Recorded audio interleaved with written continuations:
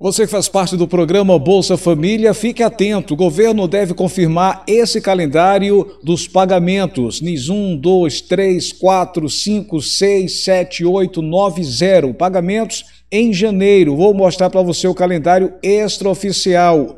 Você viu aí o bate-boca entre os bolsonaristas e também os lulistas? Que coisa, hein? Eu sempre defendo aqui que haja discussão, debates pacíficos, né? Deve ter uma luta, uma briga nas ideias e não um partindo para cima do outro. Nessa quarta-feira, dia 20 de dezembro, foi uma decepção. Os nossos representantes brigando. Ali parecia bem bonito, bem bacana, mas inclusive teve aí tapa no rosto. Que coisa, hein? Que vergonha os nossos representantes porque você discutir no campo da ideia é uma coisa, agora quando parte para a violência física, aí muda tudo. Enquanto isso, a gente esperando que o governo coloque em pauta aí o novo auxílio para os estudantes, que pode chegar a R$ 3.200, primeiro, segundo, terceiro ano mais a taxa do Enem, não foi debatido, né? Pelo amor de Deus. Olha, gente, tem aí, já, já foi, já iniciou a entrega do cartão do programa Pão e Leite 3 mil novas famílias começaram a entrar, né, começaram a receber, totalizando mais de 10 mil famílias. Eu falei isso nos vídeos anteriores, muita gente estava perguntando, Alex, isso aqui é numa cidade, mas poderia ser para todo o Brasil, né? Poderia. Então, bora trazer todos os detalhes. E tem bomba também, né? Notícia bomba, gente. Comunicado do Bolsa Família, deixa eu lembrar aqui, preste atenção, hein?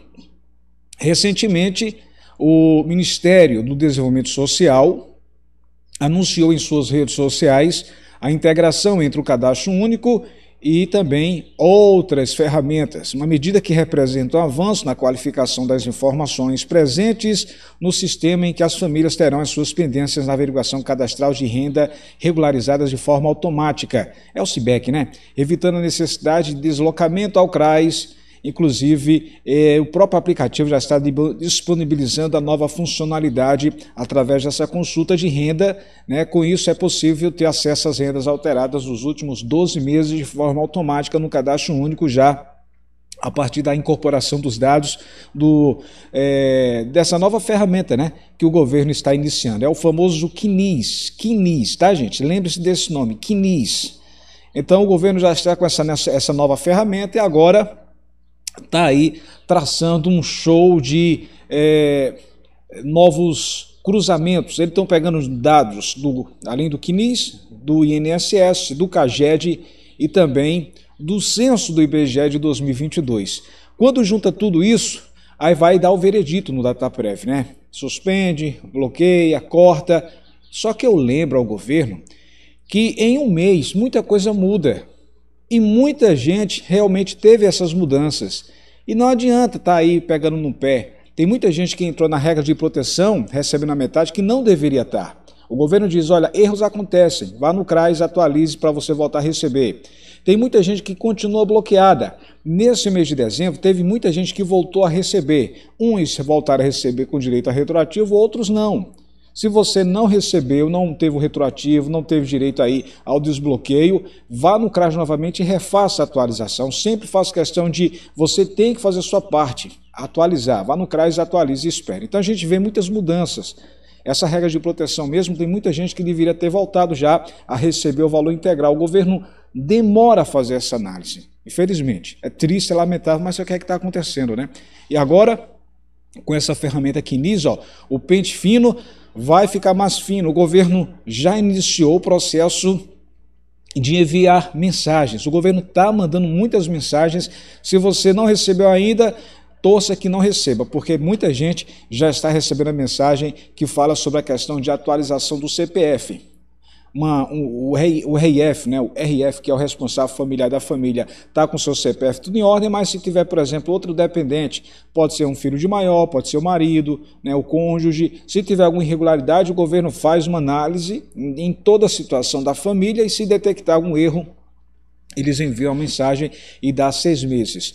logo na primeira decisão não bloqueia, não suspende, não corta. O governo dá seis meses, mas eu não acredito nisso. Quero deixar bem claro, você, se tiver alguma pendência no CPF, ou seu, ou de algum dependente, corra, acesse o site do, da Receita Federal, faça uma busca aí no, no Google, coloque lá é, Receita Federal e veja né, se tiver dando algum erro, alguma pendência nesse CPF, procure corrigir.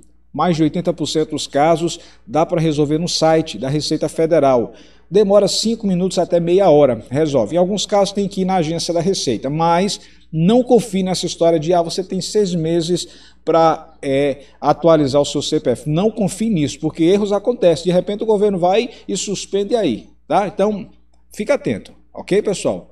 O negócio é, é, é deixe o CPF tudo em ordem, alguma informação sobre o seu CAD único, corra no CRAS e atualize, ó, mudança de escola, mudança de endereço, nasceu um filho, um filho saiu da sua casa, um dependente saiu da sua casa, atualize tudo isso. Mulheres na idade fértil, de 14 a 44 anos, vá no posto de saúde, a questão da saúde tem que estar em dia, todas as informações, porque o governo vai pegar no pé.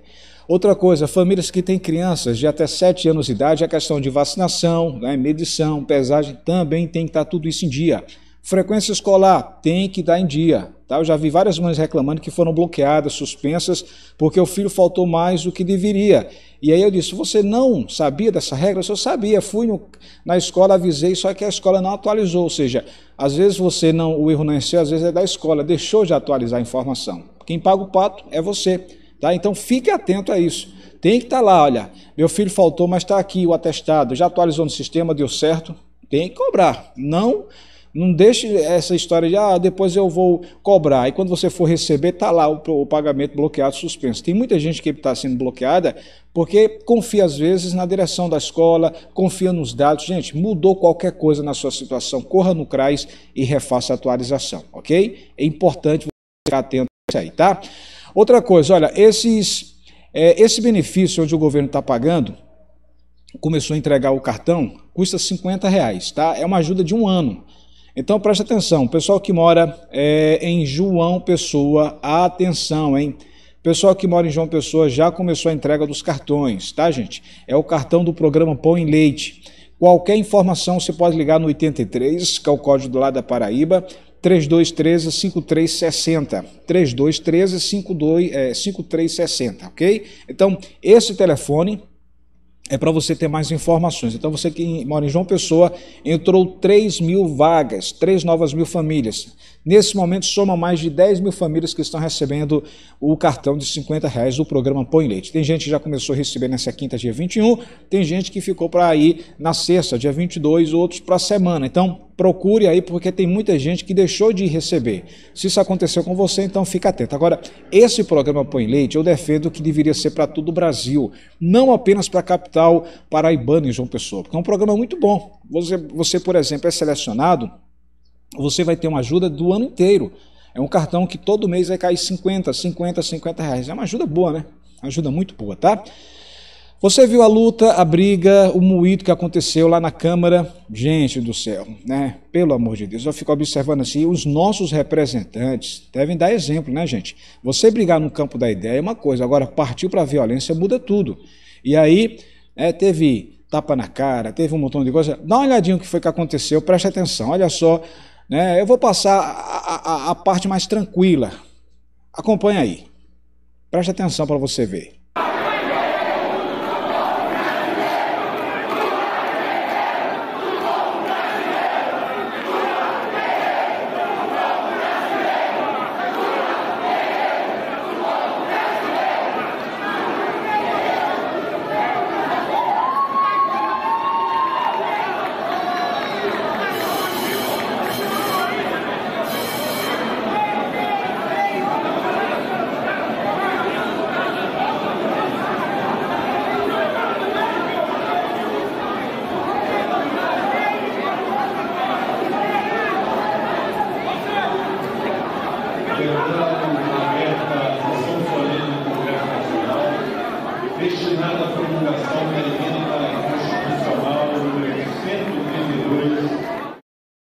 Que coisa, hein? Que situação. Show de empurra, empurra, né?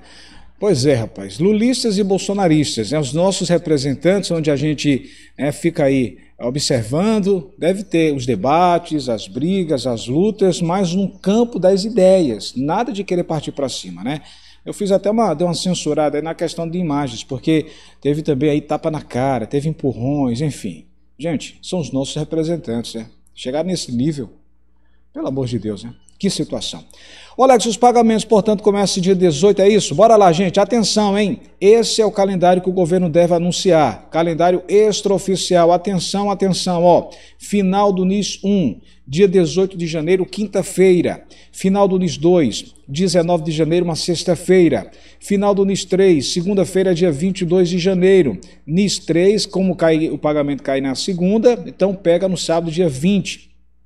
NIS 4, 23 de janeiro, NIS 5, 24 de janeiro, NIS 6, 25 de janeiro, NIS 7, 26 de janeiro, NIS 8, 29 de janeiro, NIS 9, 30 de janeiro e NIS 0, 31 de janeiro. Lembrar que quem tem o NIS 8, o pagamento cai na segunda, dia 29, nesse caso pega antecipado no sábado, dia 27. Alex, esse é o calendário extraoficial. Por que, que eu sempre lembro que é extraoficial?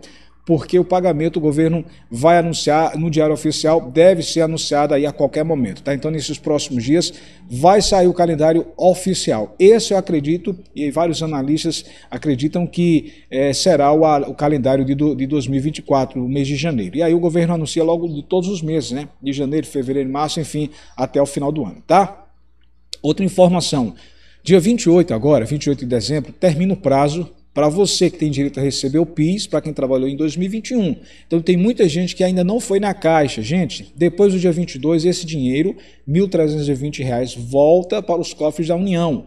Se você trabalhou em 2021, tem um marido, tem um filho de maior que trabalhou em 2021, se ele tem cinco anos de carteira assinada e trabalhou um ano em 2021, ele tem direito a R$ 1.320. Se não recebeu, Peça para ele levar a carteira profissional e ir lá na caixa. O valor vai ser pago até o dia 28. Depois, esse dinheiro volta, retorna aos cofres públicos.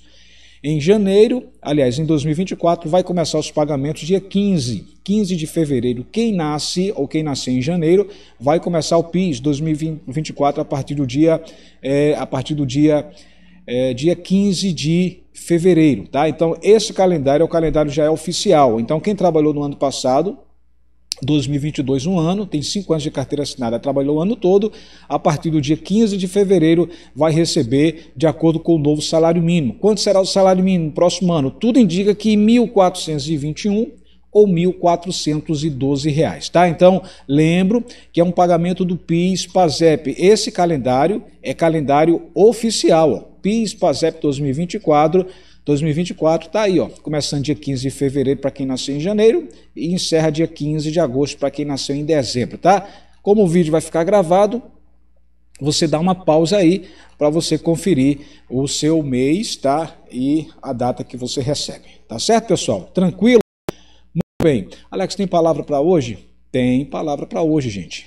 Tem palavra para hoje. Palavra linda, por sinal, que está no livro de Romanos, capítulo 11 poderosa que toda honra, toda glória devem ser dada somente a Deus. Romanos capítulo 11, aqui ó, nesse versículo que eu destaquei, olha no teu celular. Último versículo, versículo 36 diz: Porque dele e por ele e para ele são todas as coisas. Glória, pois, a ele eternamente. Amém.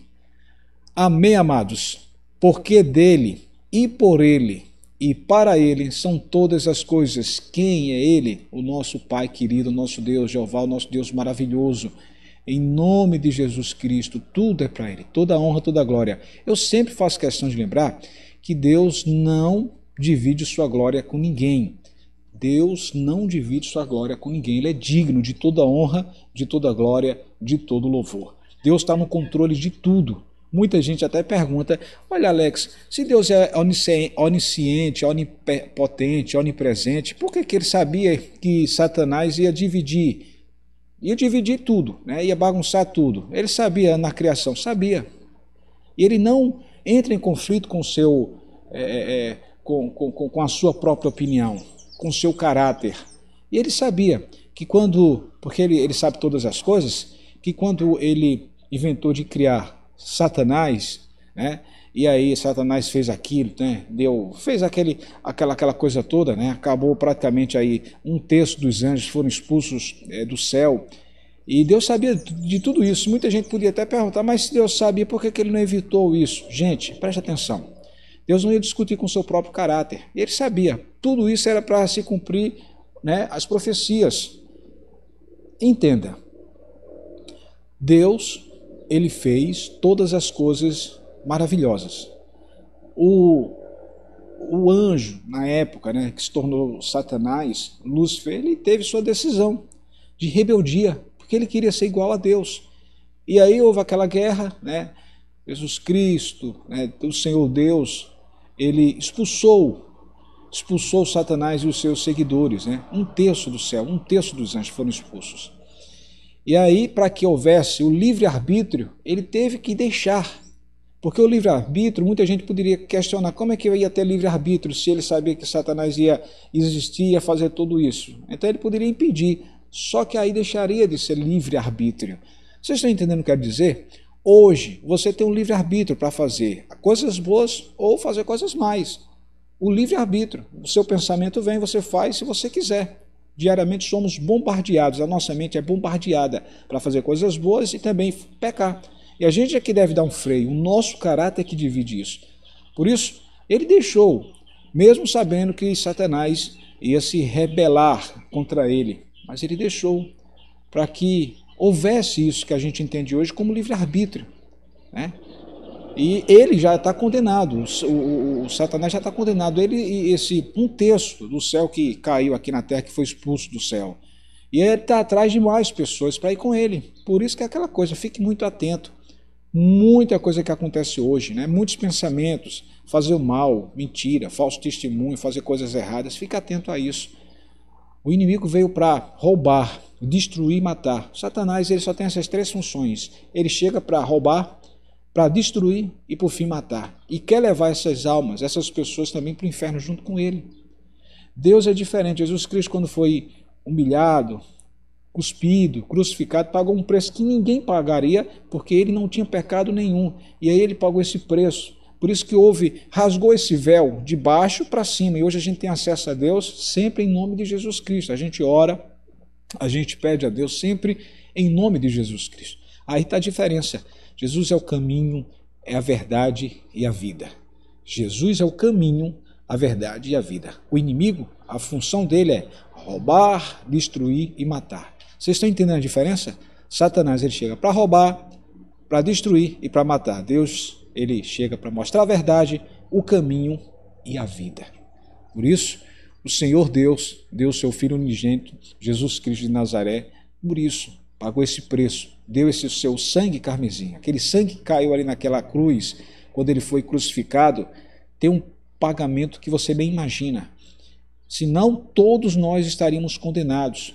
E a graça está pairando a todos. Agora, cabe a você, você procurar estar no caminho do Senhor, se arrepender dos seus pecados e estar firme, estar caminhando com o Senhor, procurando se afastar do pecado. Pense nisso. Como a gente viu nessa passagem, o Senhor não divide a sua honra com ninguém, toda a glória é dele, não divide sua honra com ninguém. Agora eu lembro a você, esteja no caminho do Senhor, esteja se preparando para a volta de Jesus Cristo, que isso deve acontecer a qualquer momento, gente. Todos os sinais estão sendo dados. Guerra sempre existiu, mas hoje, como nunca, né? É guerra Ucrânia-Rússia, é guerra Israel contra a Palestina, né? contra aquele Hamas. O nosso vizinho aqui, o maluco lá, o ditador do Nicolas, né? o, o presidente lá da Venezuela, o Maduro, querendo aí atacar a Guiana Francesa, país aqui próximo da gente, né?